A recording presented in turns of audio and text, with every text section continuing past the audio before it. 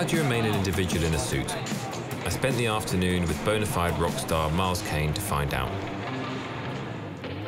You don't actually look like you've just come off tour, I have Don't to say. I? No, you look like you've had I some don't sleep. look fat and weathered. Well, I know you're a big moisturiser, I love, I love moisturiser. Keeping the skin nice and Yeah. soft. Is it all right now for men to get pedicures and manicures? Is that something that guys do?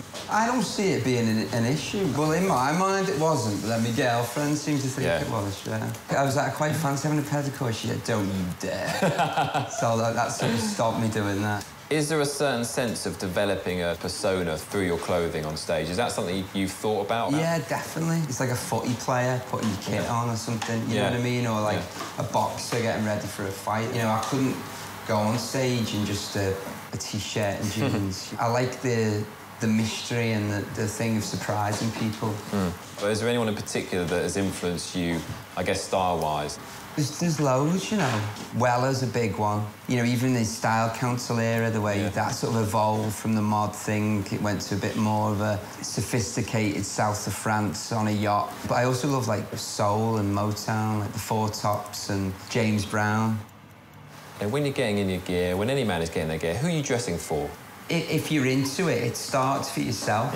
That thing of sort of getting ready for something Mm. Yeah. excites me. People in Liverpool, whatever style it is, there's Sure. definitely a, a thing of looking sharp, you know? Yeah. I remember when I got my first all black Lacoste tracksuit, Yeah. I thought I have made it. When did you start wearing suits? I probably attempted a Julian Casablanca look. I think once I even attempted a Hives look. really? What with the white shoes and the... You know, I think I did that And the white as well, tie, yeah. I think, but like a really bad Yeah. white tie from probably like Marks and Spencer's. You know, Like a was, white There was like this towel, like this big down your neck. Dandies, historically, there's this idea of dressing themselves out of their social situation. Yeah, I think so. Even if you sort of had a, a nine to five, but you were into soul, that's your little escapism as your identity. It makes you feel excited. Yeah. And that's how I feel.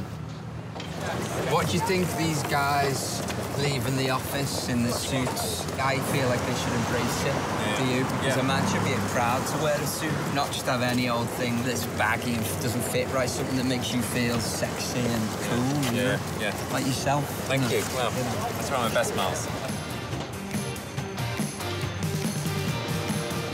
Proud and peacocking, dandies have caught the eye